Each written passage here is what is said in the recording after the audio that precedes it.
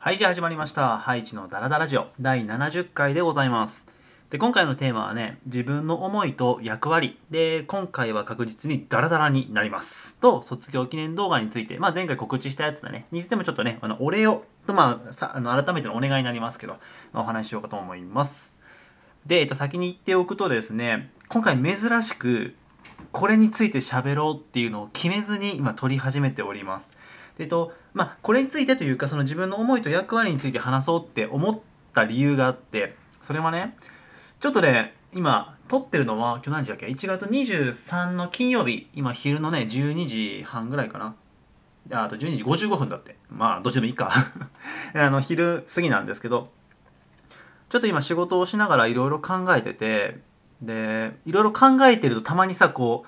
う思いが溢れてくる時があるわけですよ。でなんかせっかくこう自分の活動のこととか、まあ、自分の今の役割、まあ、立ち位置と、まあ、自分のやりたいこととか思いとかね。なんかいろいろこうわーっていろいろ思いつくなんか瞬間らしくてせっかくやからタイミングもいいし撮ろうかなと思って今回それでね喋らせてもらおうと思います。なので結局何が言いたかったんだろうって最後言ってる自分が想像できるぐらいにダラダラになるかもしれないんですが、まあ、ちょっともしよかったらねお付き合いいただけたらと思います。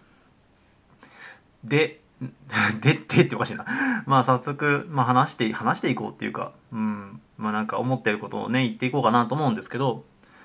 こうまあ2015年になって、まあ、2012から始めた活動でしたけどまあこういろいろねみんなに支えられてこう今があるわけなんですよ。いつも言わせてもらうけどね。本当に感謝の思いでいっぱいなわけででなんていうんかな。そう今自分の立ちあのね実は今年になって今年か今月1月も今年か。グダグダすでに。あのね今年になってからちょっといろんなところから連絡というか会って話がしたいんですけどみたいなのをね結構いただくんです。今月すごく多くてすごい大きな有名な企業の方から多分まだ始めたばかりの、まあ、活動というかなんかそういう運営をしてる方とかいろいろあるんですけどで多分わかんないよ。この先どうなるかわかんないけどまあそういう風のが続くのかもしれないのね。でそうなっていく中ででやっぱあの始めた頃に比べれば知名度がねちょっとあるようになっていろんな人に知ってもらえてるからさ。でいいこともあればもちろん嫌なこともあってまあその分こう嫌な思いというか嫌なことを書かれることもあるわけだよ。で、まあ、その嫌なことを書かれた時もただ単純にね例えばだよ。ただ単純に、えっと俺動画投稿しただけなんだけどコメント欄に「死ね」って書いてあるみたいな。そんなは別に相手にしないんだよ。しないんだけどやっぱりちゃんとしたその人の教育論があってそれが納得できないと。俺の活動がね、うん、っていう方もいらっしゃる。でそういった時に、まあ、長文で書いてあったりとかその方の教育論を書いていただいた時は無限にはせずにちゃんと読もうと思って。その人の教育論だからね。ちゃんと受け止めようって。で思っていろいろこう読んだりするとまあ、自分の今の立ち位置というか、うん、役割が多少見えてくるようになってね最近でまあもともとはそのなんだろうな今日なんだろうかなんだ難しいことは使うと教育の機会を均等にしたいとだから、えっと、子供たち、まあ、見てくれるね子たちが好きな時に好きなだけそして自分の意思で見れるそう勉強できる環境を整えたいなっていう思いがすごく強いのね。例えば、あのー、まあ、元俺はね塾講師なんだけどで塾講師を丸3年やっててね。で俺は個別指導塾だったの。1対3の個別指導塾でやっててでもともともともとは、えっとね、契約社員っていう正社員でもない社員から始まってで契約社員で教室長やってそのある県のエリアのねエリアの長エリア長っていうんだけどそこまでやってみたいなこともいろいろやってたんですけどあのーそれが悪いとは別に塾を批判する気なんてさらさらないしすごい前にダラダララジオで話したこともあるけど塾は絶対に必要です。今の日本には。絶対なくなってはいけないツールだから。だからいいんだよ。あっていいんだけどでもやっぱり高いんだよね。教育って。かかるお金が。でそのじゃあ安くすればいいじゃんっていうふうに思うかもしれないんだけどあのー、教育業界って結構ギリギリまで安くなったんだよね今の段階でも。なったと思っていて。で中で働いているとやっぱり会社企業側のねこの一面というかその思いというのも分かるので多分今のその教育水準教育費の水準かかかるお金のね水準はまあ多分このまま続くだろうとこのぐらいで。おそらくこれ以上下がることはないので。でも今の日本ってまあねあの安倍首相に変わってからさこうこうちょ景気が良くなったっていうのは聞きますけどでも実際おそらく景気が良くなったって感じてるのは一部の方で実際にこう変わってないとかさらにきつくなったって思われてるお父さんお母さんってたくさんいらっしゃると思う。でもそれが現実だから今の日本ではね。であるとやっぱりその塾を通うのにお金が出せないそっちにねお金が回らないっていう家庭はたくさんある。でそういう話をたくさん聞いてきた。塾講師やってた時に。で自分はお金もらってる身でしょ？塾で働いて月謝をもらって、まあ、月謝から月謝を直接もらうわけではないですけどでもその月謝のを集めた企業から給料を頂いてたわけなんで直接ではなくても、ね、皆さん頂いてる給あの月謝から給料をもらってた身なんで高いよなって常々思ってたわけだよ。うん、であの多少多少自慢ちょっと入れていいですか？ごめんね。あの気を悪くしたら申し訳ないんだけど。あのなんだっけその塾ってね俺が働いて働いてた塾は結構こうねなんだろうな数字に厳しいというか結構いろんなチェックをされる会社だったのね。例えば新しい生徒を何人、ね、入塾させられたとかあとは塾辞める人もいるじゃないですか。その退塾率っていうね塾辞める率なんですけどそれを数字にしてこういい人悪い人とか表彰とかあったりするんですよそういうのがいろいろ。で俺退塾率その塾を辞める率が多分ね俺企業あの企業の中で多分1位か2位をずっと取っててそう。あとね最初の1年間一人も辞めなかったんですよ。辞めなかった。そういうあのとにかく来てくれてる通っていただいてる方に感謝してもう全力で授業するって。全力で準備して全力で授業みたいなことをやってたんですけど。でもそういうふうに思いながらもどっかでこう月謝その高い月謝って思ってたから 高い月謝を頂いてることにこうなんつうんだろうな負い目ではないんだけどなんか違うよなってすごい思っていて。でそういった中でやっぱり子供たちもそうだけど親御さんも自分のことを信頼していただいてたんでいろんな話をしてくださる。お父さんお母さんがね。面談の時とかに。あの勉強のことだけじゃなくて子供のことだけじゃなくって例えば旦那さんの愚痴を聞いたりとか奥さんの話を聞いたりとかお父さんからね。あとはそのやっぱり知り合いの子が通いたいって言ってるんだけど月謝がちょっと学的に厳しいと。で塾っていうのは集団塾の方がやっぱり安いから。それは当然だよね。ね。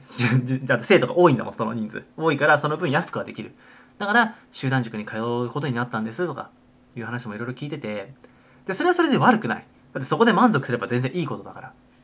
けどやっぱり選択肢が違うわけじゃん。あの言い方が悪いかもしれないけど裕福な家庭であれば集団塾個別塾もしかしたら家庭教師3つ選べるかもしれない。でもちょっとお金に困ってるお家であったら集団塾しか選べないと。でそこで満足すればさっきも言ったようにいいかもしれない。いいのかもしれないんだけどでも選択肢はある方がいいじゃん。ね。だって選べるんだもん。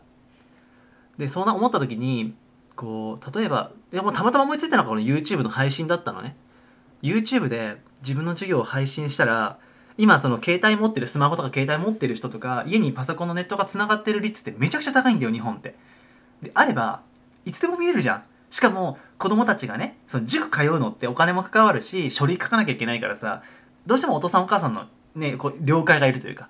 でももし YouTube だけだったら子供たちが友達から聞いてね例えばなんかハイチって人の授業なんか見てみたら面白いよみたいな。言ってくれたらあマジでちょっと見てみるわって言ってもそこでも見ることができる。好きな時に自分の意思で勉強ができるでしょ？でもちろん俺の授業を見てもらっていやいや分かりにくいわって思う人も絶対いたからたくさん。ねいたからそのねそれに関しては本当に申し訳ないんだけど。でもそこであ分かりやすい頑張ってみようってもし思えたらその子の人生ちょっと変わるかなって思ってるのね。でまあそんな意思があって始めたんだよ最初は。でもちろんその意思というかその気持ちは今でも変わってない。てかより一層強くなってるから。うん、だからいいものを絶対妥協しないで授業を配信する。あの説明でね間違ってしまったりとかあと俺英語の発音がさすごい突っ込まれるんだよね英語の発音。あの 間違って覚えやっぱこう29年間生きてきた中で間違って覚えてることってたくさんあるんだよ。特に英語が専門じゃないって言い訳をするとあれですけど。そう。で間違った発音をしてたりとかすごい書かれたりするのね。でもその発音別にこっちでもよくねとか思う時もあるけど 言い訳してる感じだけどね。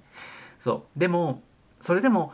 まあいっかこれでっていう思いで配信したものは一本もないからそう。でそれの気持ちがみんなに届いてかはわからないけどでもねこうやって見てもらえるようになってさ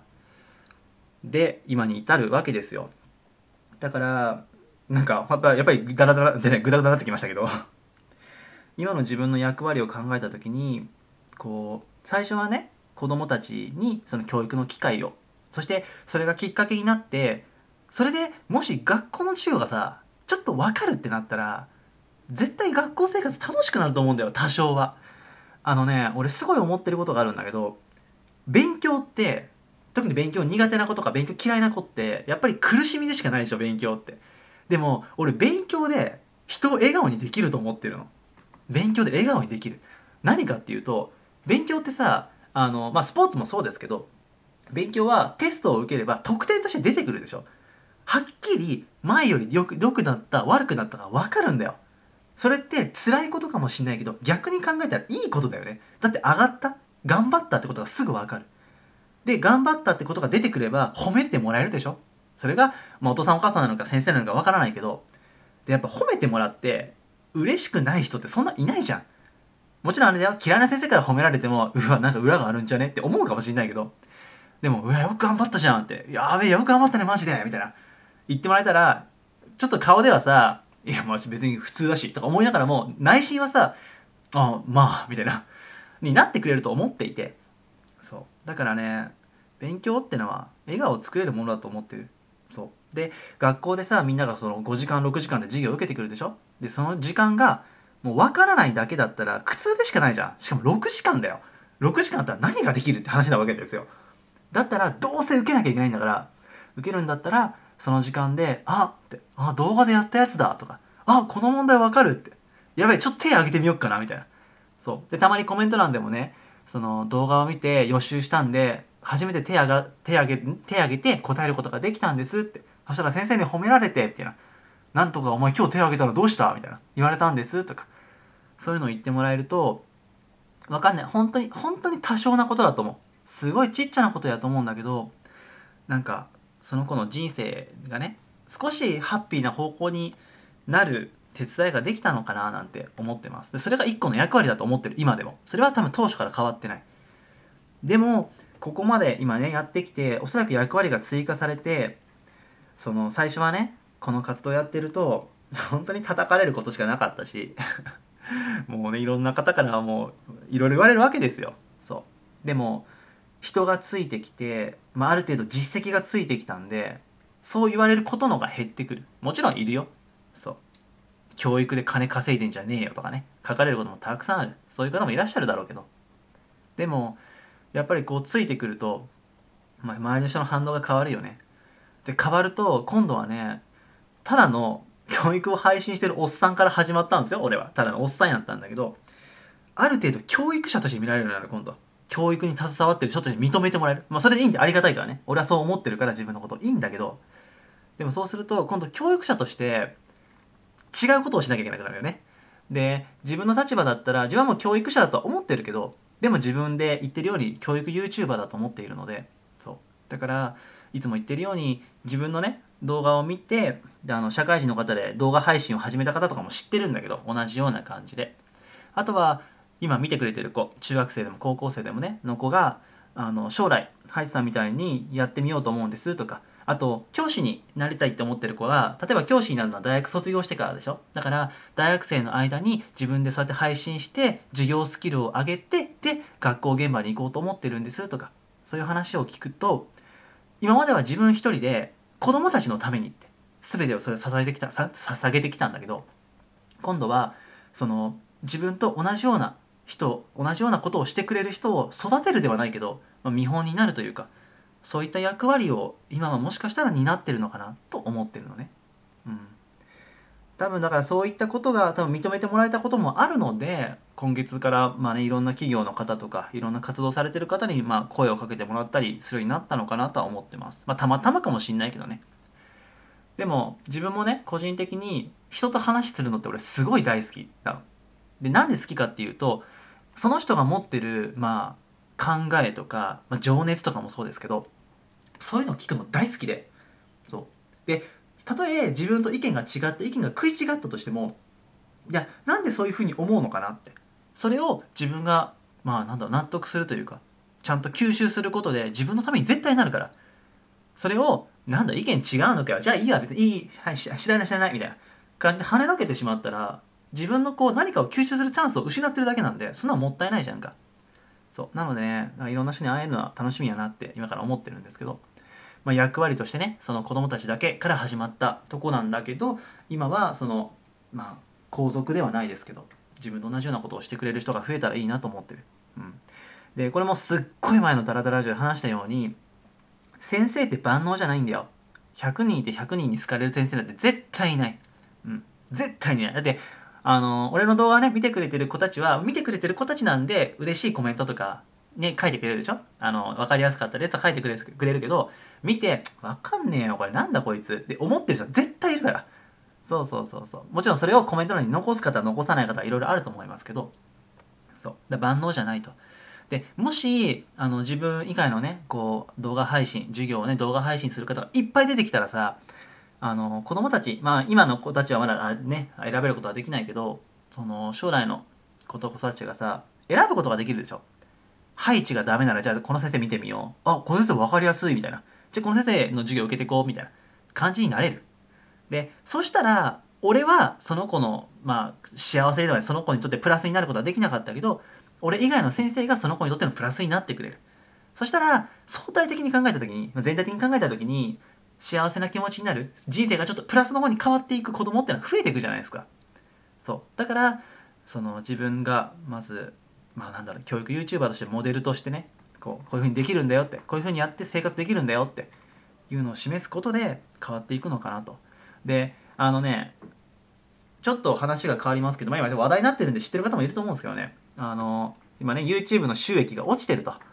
いろんな YouTuber の方がお話ししてたりとかこの前はね Yahoo のトップニュースでどっかの経済評論家の方かなが書いてありましたけど YouTuber の時代はすでに終わったのかみたいなね書いてありましたけど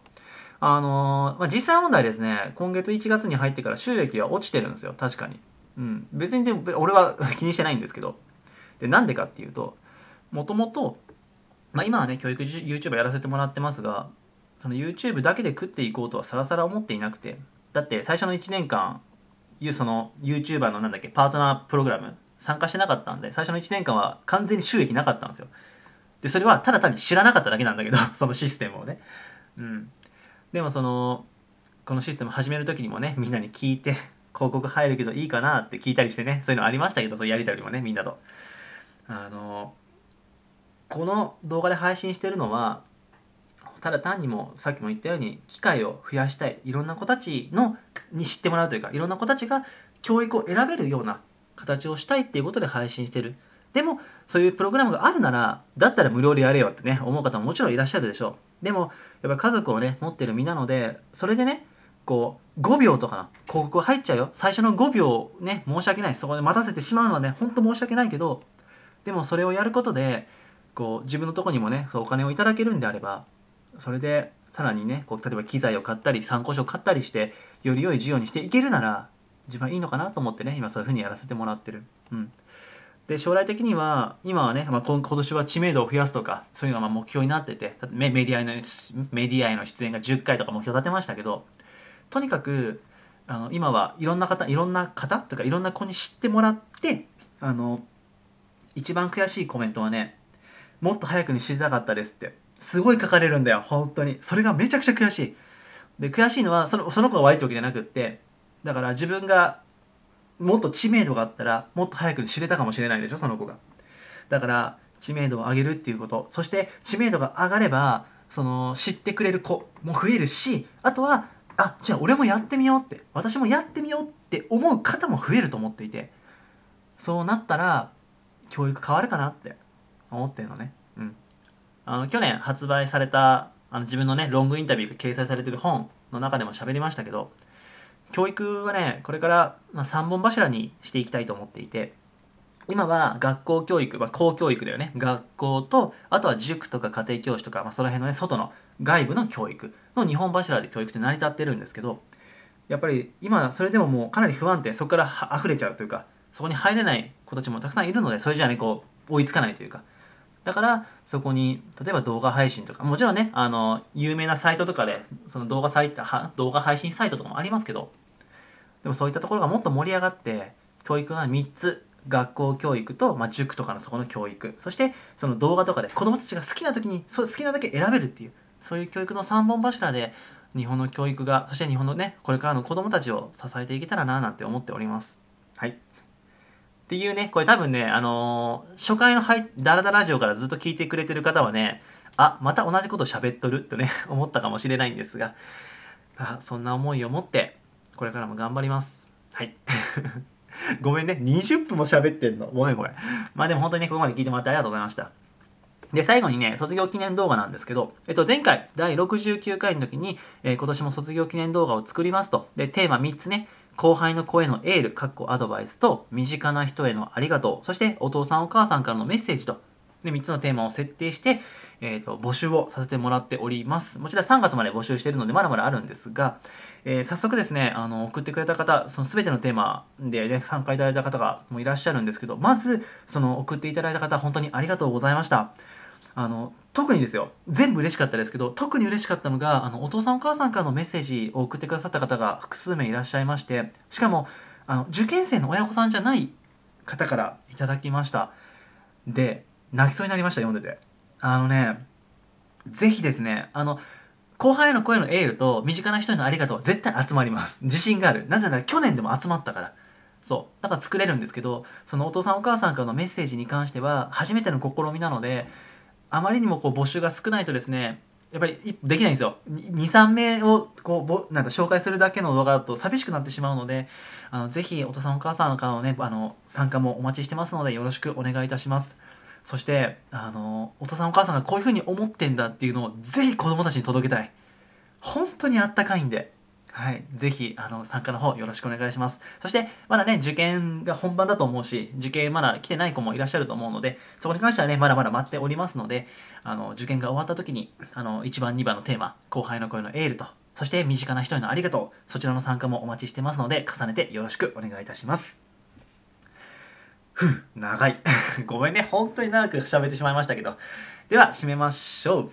え今回はハイチのダラダラジオ第70回テーマ自分の思いと役割についてダラダラと喋らせていただきました。え今回もね、ここまで聞いていただき本当にありがとうございました。